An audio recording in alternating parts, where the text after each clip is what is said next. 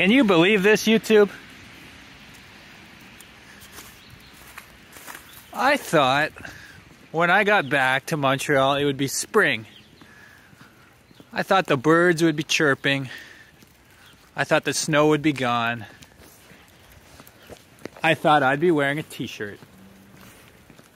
But if there's one thing I've learned in my short time on this earth, it is to never underestimate the power of Canadian winter. I woke up to uh, to this. It's actually pretty good, uh, pretty good snow for snowballs.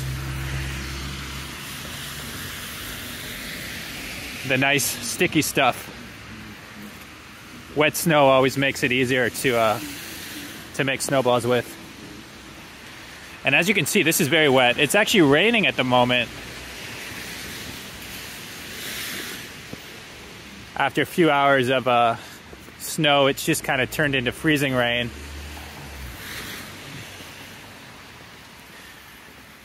But nevertheless, I thought I'd take you on a little walk and just show you some scenes of Montreal in the winter. Of course, the only problem with wet snow is you occasionally get giant puddles like that, which can be very dangerous to uh, people who like dry socks. The thing about Canadians is, I would say we have a love-hate relationship with winter. We all love to complain and grumble when the weather's bad. But at the same time, we all do like a good snow day, I would say. By the way, that's an interesting uh,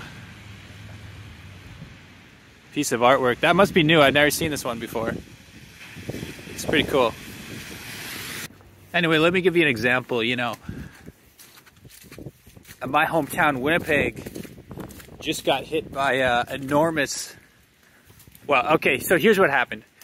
They were calling for basically two feet of snow over the period of 48 hours, like between two and three feet of snow. Like it would have been the most epic spring storm in Winnipeg's history, other than what happened in 1996.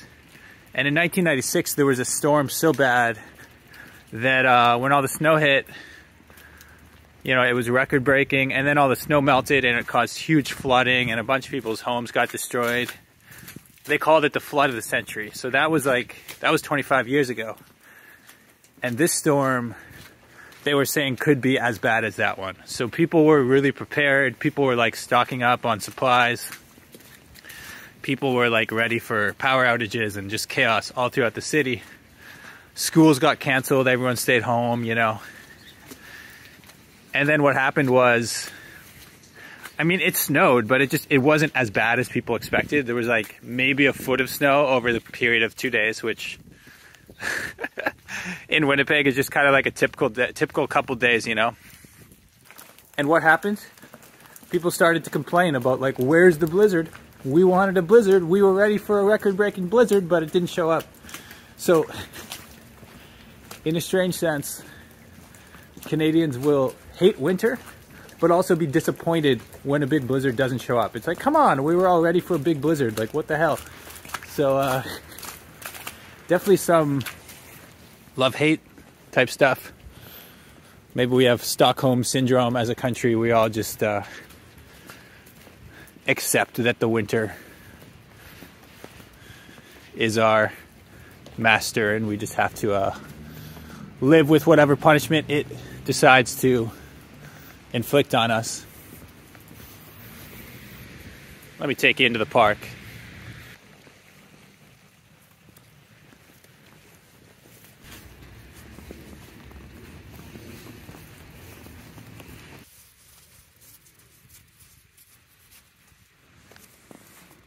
Oh yeah, that's the good stuff right there. See if I can hit that tree. Right down the middle. Still got it. Still got it. All right, YouTube, hope you enjoyed this one. Hope you are nice and warm and toasty wherever you are watching from. And you are not getting snow in the face. It actually just started snowing again. The rain has switched back to snow, so uh, who knows? Maybe we will have an epic storm of our own. I mean, I definitely didn't expect to have this amount of snow on April 19th. But as I said earlier, Canadian winter, you never know what you're going to get.